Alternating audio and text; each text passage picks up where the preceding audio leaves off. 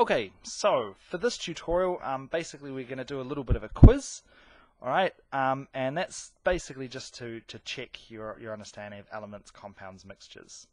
So there's, there's just a bunch of pictures like this, and you just have to decide is it an element, a compound, or a mixture.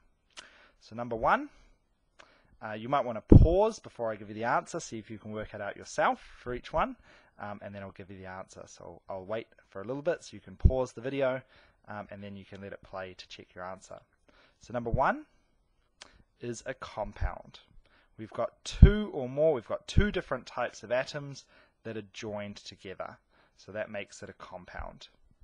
Number two, a substance that contains only one type of atom. So the answer there is basically, guys, that's your definition of an element. Number three. So if we look at this picture, I'll give you a sec. If you look at this picture, guys, uh, this is an element. There's only one type of atom there.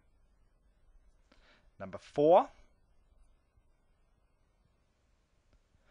This is an element again. There's still only one type of atom. Even though they're separate, it doesn't matter. If there's only one type of atom, it's an element. Number five, a substance that contains several different elements and or compounds. So that's your definition of a mixture. Number six. Okay, so this one's a bit tricky, but basically, guys, this is a compound. Okay, we've got two or more, two in this case, two different types of atoms, but they're all joined, they're uh, bonded together, so this is a compound. All right, number seven. Okay, so again, this is a compound. Um, and you can tell that we've got two different types of atoms. They're bonded together. And, and each part, each molecule here, is the same. So that's why it's still called a pure substance. It's a compound.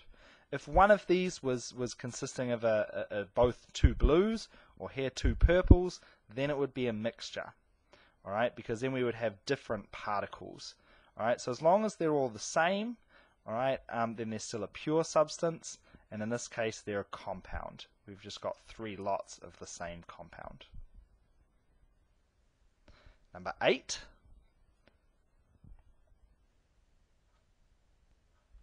Number eight is a mixture. Now you know it's a mixture um, because we've got two or more different types of atoms but they're not bonded together. So the parts that we've got here, this one by itself, this one over here by itself, the parts that make this up are different, so this is a mixture. Number nine, a substance that contains several different types of particles. So again, that's another way of describing a mixture. A mixture will have different molecules or particles, um, and that's basically the definition again of a mixture. Number nine.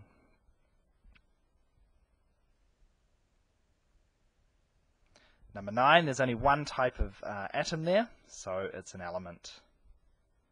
Number 10, a substance that contains only one type of particle, where each particle is made out of two or more different atoms. So that's a compound. Okay, we've got two or more different types of atoms, so it's not an element.